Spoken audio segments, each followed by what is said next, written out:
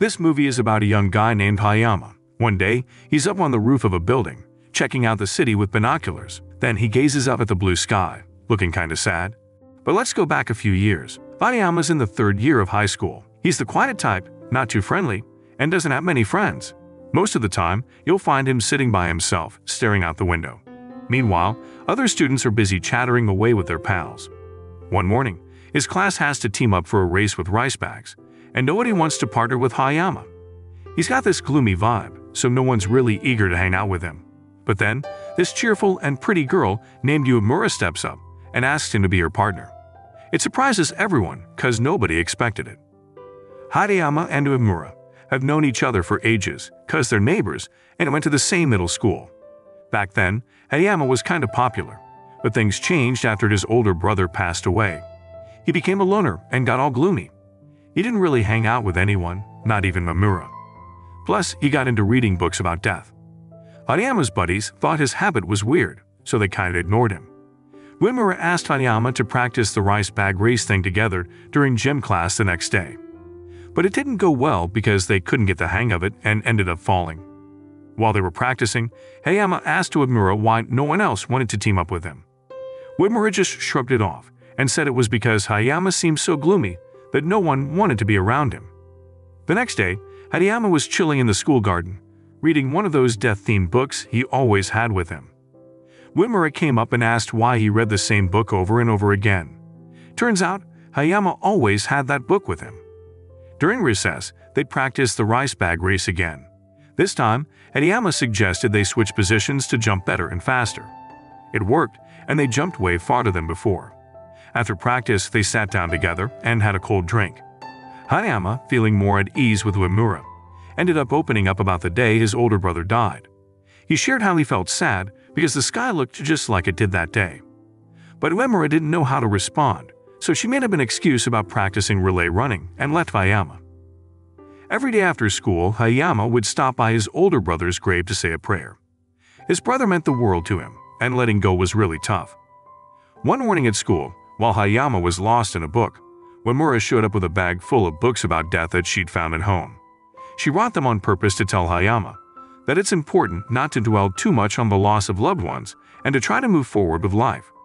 Those words left Hayama speechless, and he couldn't stop thinking about what Uemura had said. Then we fast forward to the school sports festival day. Hayama and Uemura were on the same team, the red team.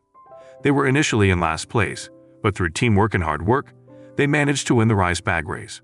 Afterward, they looked tired but really happy. Once the race was done, they sat on the sidelines and had a chat. During the conversation, Uemura mentioned that she had made a promise to herself that if they won, she'd confess her feelings to Hayama. She went ahead and asked him if he'd like to date her. Sadly, Hayama declined because he was still struggling to cope with the loss of his older brother. The next day, Hayama met up with Uemura to give back the books she'd lent him before. Uemura, still upset about Hayama turning down her confession, replied grumpily that she'd given him the books and he could give them away if he wanted. Then she left in a huff. Seeing Uemura acting strangely, Hayama realized he'd hurt her feelings with his rejection. The following day, Uemura unexpectedly didn't show up at school. When Hayama noticed this, he felt guilty, thinking maybe Uemura skipped school because she was embarrassed about his rejection. So when he got back home from school, Hayama decided to visit Uemura's house. However, it turned out that Uemura was sick with the flu, not avoiding school because of him. To cheer her up, Hayama brought two bottles of the soft drinks Uemura always had at school. Soon after, he opened up to Uemura and confessed that he liked her too, but he was afraid of loving someone because he didn't want to go through the pain of losing them. Coincidentally, Uemura's grandmother overheard their conversation. Hayama noticed her and greeted her. It turned out that Uemura only lived with her grandmother, because her parents had left her when she was little. One afternoon, Hayama and Uemura decided to take a walk on the outskirts of their village. They talked about their college plans after they graduated. Uemura seemed super excited and had lots of ideas for what she wanted to do in college. On the other hand, Hayama seemed like he hadn't really figured out his college plans yet. When graduation day finally came, Hayama quietly told Uemura that he wanted to study at the same place as her. Uemura was so surprised that she couldn't help but shout out, and everyone in the library turned to look at them. Uemura was shocked because she had her heart set on going to Nishinmen Women's University, and Hayama couldn't possibly apply there. In the end, Hayama decided to attend Mayu Institute. Once they got to college, Hayama and Uemura officially started dating. They often went on dates to their favorite fried chicken restaurant. Uemura really liked shaking hands with the statue of an old grandpa outside the restaurant. She believed it gave her the courage to face her daily life. One day, while Hayama and Uemura were having lunch together, Hayama's college buddy Sugihara happened to show up at the restaurant. Sugihara gave back a notebook that Hayama had lent him earlier. Uemura was happy to see Hayama making friends and praised his kindness. Later on, Hayama and Uemura decided to go up to a rooftop to check out the city view with binoculars. It was a spot Uemura used to visit with her grandma when she was little. When she saw an old couple up there, all happy together, Uemura told Hayama that she wished for a lifelong friend like that old couple. While they were enjoying ice cream together, Uemura mentioned how much she loves kids and dreams of becoming a teacher for children. She explained that she grew up without her parents and only lives with her grandparents. That's why she wants to give the love she missed out on to kids who didn't have their parents' care and love. Hayama was surprised to learn all this because Uemura hadn't talked about her family situation before. He looked kind of sad and disappointed because he didn't know much about her. Another time, when Hayama was on vacation in Thailand, he shared his feelings of disappointment about Uemura with a group of Japanese moms he was hanging out with. One of them said that some things in life are best kept private. Hearing that, Hayama realized he didn't need to know everything to make their relationship better. When Hayama came back to Japan, he wasted no time and asked Uemura to join him for a meal at their usual fried chicken spot. While they waited in line, Uemura mentioned that when Hayama was away in Thailand, she got bored and decided to visit Australia. She admitted that she was used to doing things alone, but hoped that one day they could do something together. The next day, Hayama and Uemura went back up to the rooftop to use the binoculars and had a fun time mimicking people on the streets. Afterward, Uemura shared her wish to have three kids because she wanted to experience what it's like to have a complete family. Now, let's fast forward three years. Uemura is in her final semester of college and working as a substitute teacher at a kindergarten. On the other hand, Hayama is busy with a part-time job at a factory. One day, while they were having a meal together, Uemura suddenly mentioned that she wanted to end their relationship. This surprised Hayama, and he asked her why. But Uemura didn't give a clear reason and started talking about other unrelated things. It seemed like she was keeping something to herself. Two weeks after Hayama and Uemura broke up, his friend Sugihara invited him to hang out with some other friends to help him move on from Uemura. At the gathering, Hayama met a girl named Amiri, who attended the same college. Amiri made an effort to get close to Hayama, and he started to open up to the idea of building connections with other people. One day, Amiri invited Hayama over to her place for some fried chicken. After trying Amiri's cooking, Hayama was really impressed and told her how delicious it was. Their bond grew stronger from then on. While working at the factory with Sugihara, Hayama thought about how things were going with Amiri. Sugihara mentioned that Uemura was happy that Hayama had found someone new, even though that wasn't quite the truth. The reality was that Uemura still had feelings for Hayama.